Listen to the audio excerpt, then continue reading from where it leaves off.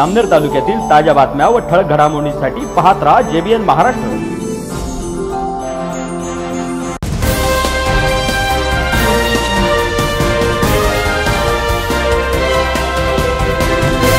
नमस्कार मी मिनल चौधरी. पाहूया काही ठळक वृत्त.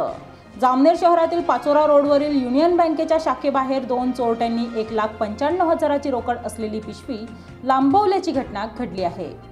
जामनेर तालुक्यातील देऊळगाव येथील सज्जनसिंग नवलसिंग पाटील यांनी युनियन बँकेतून काढलेल्या रकमेची पिशवी दुचाकीच्या हँडलला अडकवून मोबाईलवर बोलत असताना चोरट्यांनी डाव साधत एक लाख पंच्याण्णव हजाराची रक्कम असलेली ती पिशवी लंपास केली आहे.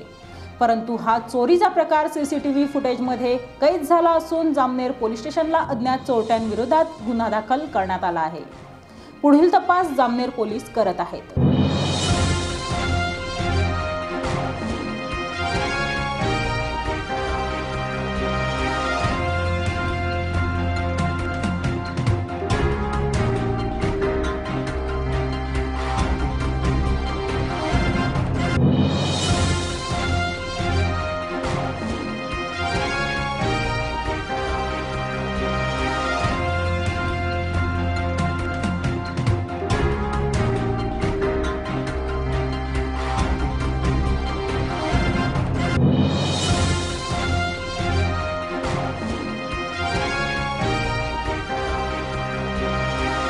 पुन्हा भेटू. तोपर्यंत पाहत रहा. जे बी एन महाराष्ट्र न्यूज. नमस्कार.